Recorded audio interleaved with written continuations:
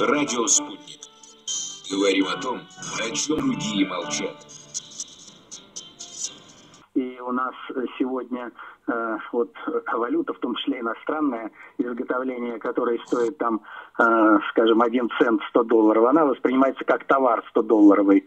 И отсюда все проблемы. То есть мы вместо развития реального сектора развиваемся только, занимаемся только виртуальным сектором нашей экономики. А и курс, и э, вот процентные ставки это лишь следствие этой ошибочной политики, потому что вот повышение курса, повышение ставки кредитования, оно абсолютно логично. Э, ставка кредитования должна снижаться для того, чтобы снижать инфляцию. У нас же это э, как мантра произносится, что если хотите иметь низкую инфляцию, то нужно повышать ставку. Хотя все работает с точностью на, на, наоборот. Любопытно, что даже на Госсовете губернатор э, Савченко Белгородской области напрямую сказал об этом, тем не менее по-прежнему ведь линия обратная. И э, это сложно сказать, что это такое опосредованное вредительство по непониманию или какие-то другие процессы. Но в принципе это зомбированность вот э, нашего э, блока финансового некими э, принципами Вашингтонского консенсуса.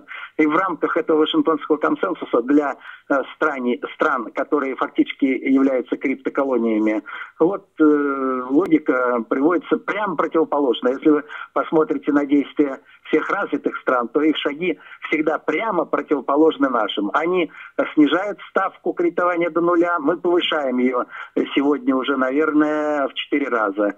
Вот. И по всем остальным параметрам точно так же. Все шаги прям противоположны, удивляться здесь нечему. Но есть сторонники, э, есть люди, которые поддерживают действия ЦБ, говорят только, что это запоздалое действие, раньше надо было поднять.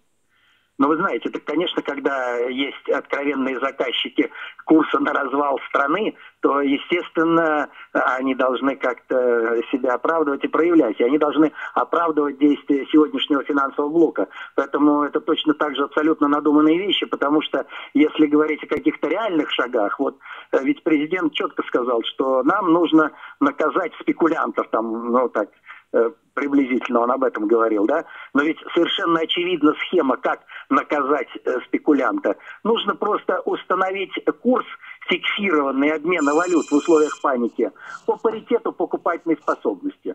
Если вы посмотрите покупательную способность рубля и доллара или евро, то э, это совершенно очевидно. В Европе бензин везде стоит 2 доллара. Соответственно, его реальная стоимость 30 рублей. Это в лучшем случае. Если говорить по паритету энергообеспеченности, то э, доллар стоит не более 15 рублей. Но можно как бы вот смотреть это от 15 до 30 рублей вот в этом пределе считать. И нужно однозначно вот этот фиксированный курс обмена, потому что это же не игрушки, это средства платежа, они должны быть э, вот э, в эквиваленте по покупательной способности.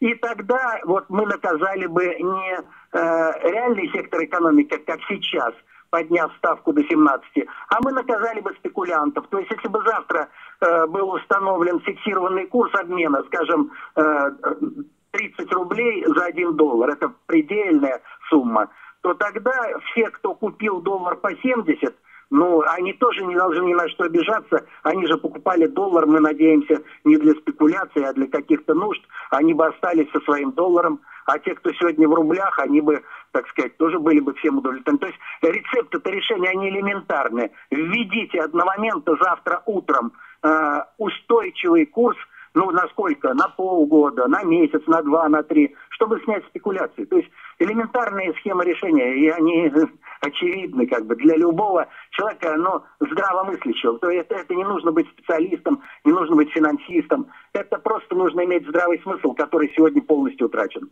Ну, посмотрим, какие решения примут э, сегодня, потому что я напомню, что все руководители финансовых ведомств сейчас э, собрались на совещании у премьер-министра, и каким выводом они придут, посмотрим. Но ваш рецепт нам вполне понятен. Благодарю вас. Напомню, что доктор экономических наук, профессор, ректор Санкт-Петербургского государственного аграрного университета университета Виктор Ефимов был на связи с нашей студией, отвечал на вопросы.